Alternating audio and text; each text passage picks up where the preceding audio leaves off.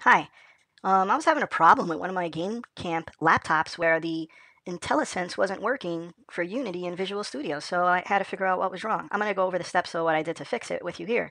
First step was I had to make sure that my Visual Studio had the um, Unity component installed in my Visual Studio. So here you can see my install for Visual Studio, and this is the Visual Studio installer. So I opened up that first. Basically, the Visual Studio installer is kind of like Unity Hub. You'll see here that there's my one version I have of Visual Studio installed on my system. If you have 2017, also you may see two of these. But anyway, you're going to pick the one you're using with Unity, and then you're going to click Modify, so you can see what is currently installed with your Visual Studio 2019. And here it seems like I have ASP.NET Web Development, .NET Desktop Development, and most importantly over here, the gaming, I have game development with Unity. Make sure that's checked.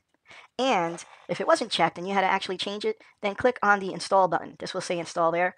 So you could actually get that installed. So that's the first thing to check to make sure that that's installed with your Visual Studio. The second thing to check is you go to open up, uh, let me just open up an example project here. I just want to get to the Unity editor.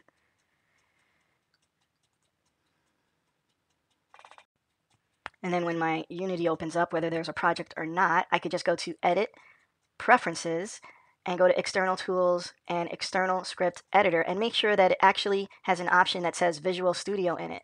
So here I have Visual Studio 2019. Now what happened on one of the Game Camp laptops is that it said dev environment.exe was what was selected. I guess somebody browsed and tried to select the exe for Visual Studio. That won't work. That's what was wrong with my game laptop. So make sure you pick the one that says Visual Studio here and then you're going to have to restart Visual Studio if you didn't have that selected for the settings to take effect. So, you know, you would, you would close Unity and reopen Unity. Now, after I close and reopen Unity, which I'm not going to do here with you, then this is what you should see in Visual Studio to see everything's working right. See right there it says attach dot dot dot. But then when it finishes loading up, it should say attached to Unity. This is so you could debug your Visual Studio code with Unity. You need these two options here. That's a good sign if that's there. If that's not there, check these two steps I'm talking about. Then the other thing, of course, as you're typing, and if I put my mouse over things, you should see that the pop-ups tell you that these objects are something known and not unknown.